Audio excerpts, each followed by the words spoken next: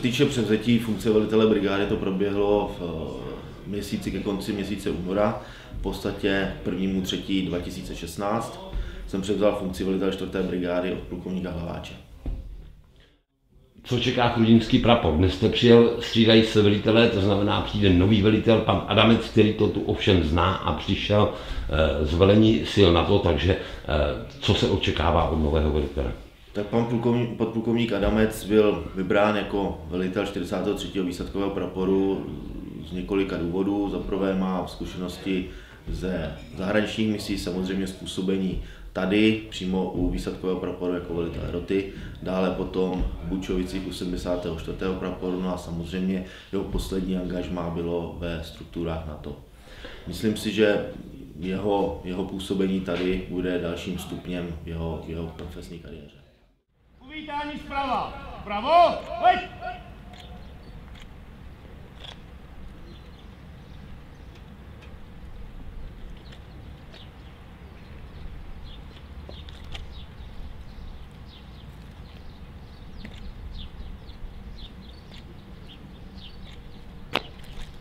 Pane podplukovníku, zástupce velitel praporu Maro Zelinka. Výsadkový prapor je nastoupen k slavnostnímu předání funkce velitele praporu. Děkuji.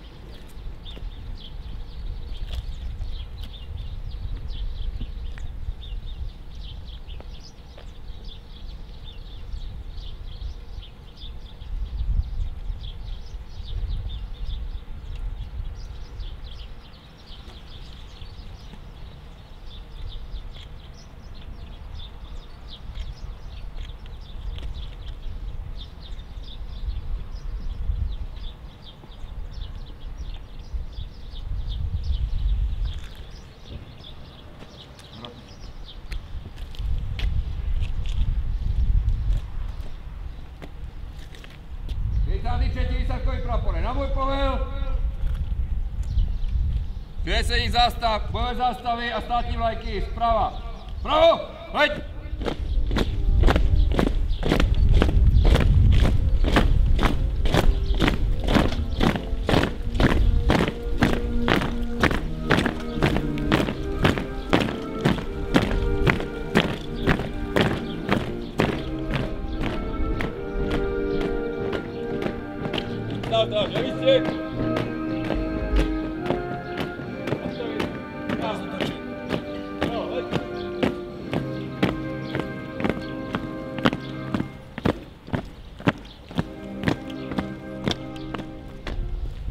Pane plukovníku, velitel praporu podplukovník Ziak.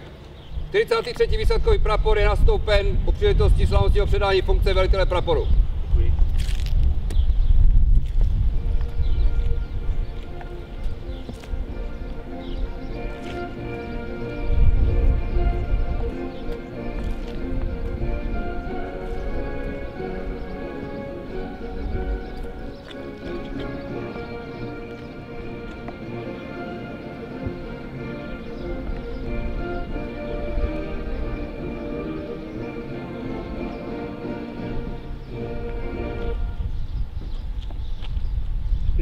Třetí výsadkový prapor. Nazdar!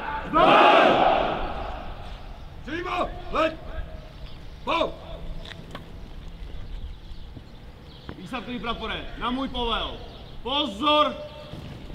Zvláštní rozkaz velitele útvaru 1837 číslo 1 46 pomlčka 7 lomeno 2016 ze dne 27. června 2016. Po!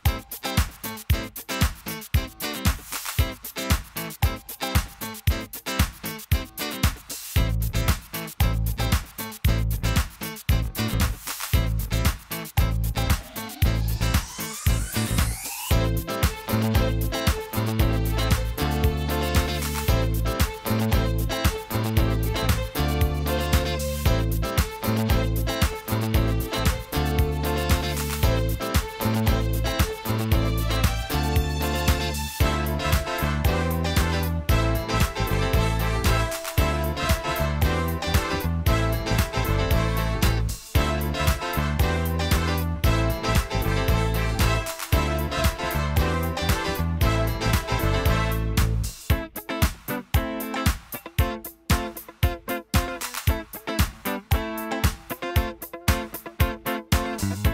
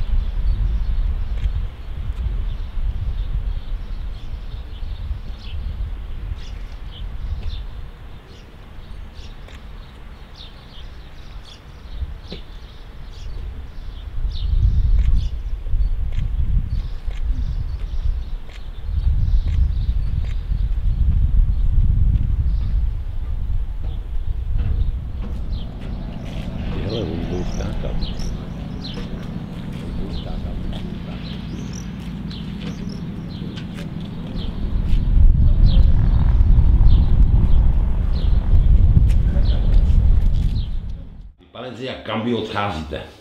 A odcházím do Spojených států na velitelství NATO, které má na starosti veškeré cvičení, výcvik, kurzy, zabezpečení, a zabezpečení výcviku a jednotek a Severoatlantické aliance.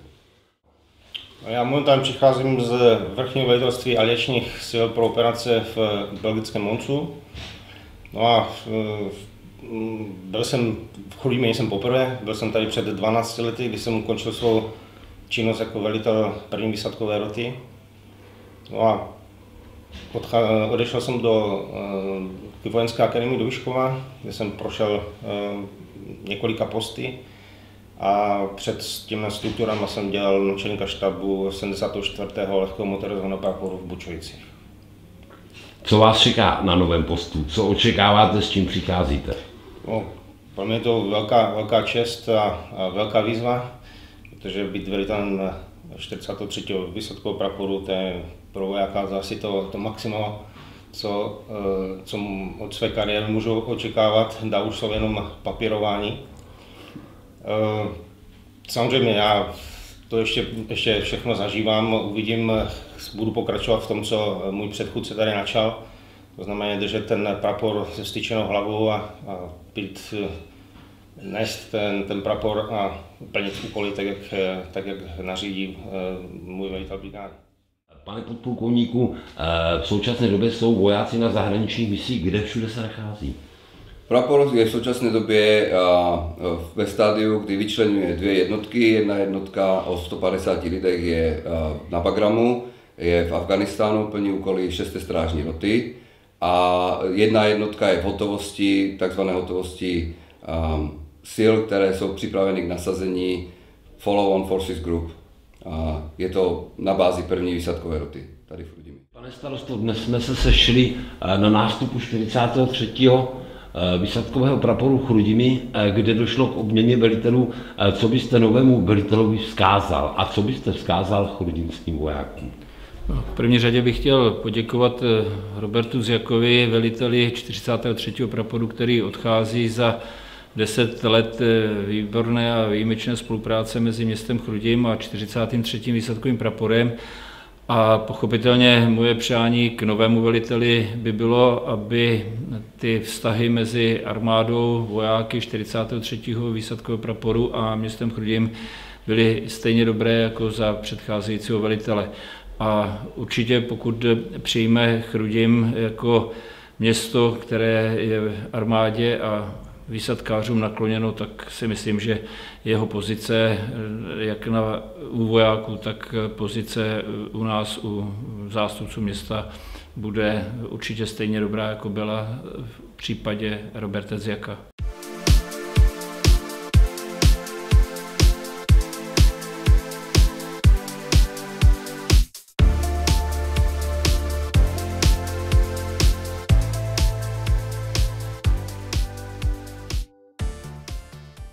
Jsme na Seči a vidíme tady velké soustředění vojska. Co se tady bude dít? Tak eh, dneska budou na, přehradě Seč eh, padákové seskoky 43. výsadkového praporu. Stejně jako každý rok, eh, typicky máme jeden až dva termíny v roce, kdy provádíme padákové seskoky do vody. Provádí to vždycky jen ty zkušenější výsadkáři, je to, patří to k těm složitějším seskokům, jsou na to zvláštní nácviky, ať už v průběhu roku nebo, nebo ten samotný den a budou se vysazovat skupinky třech, no výsadky třech výsadkářů a vždycky v jednom průletu z vrtulníku Mi-17 z výšky 400 metrů.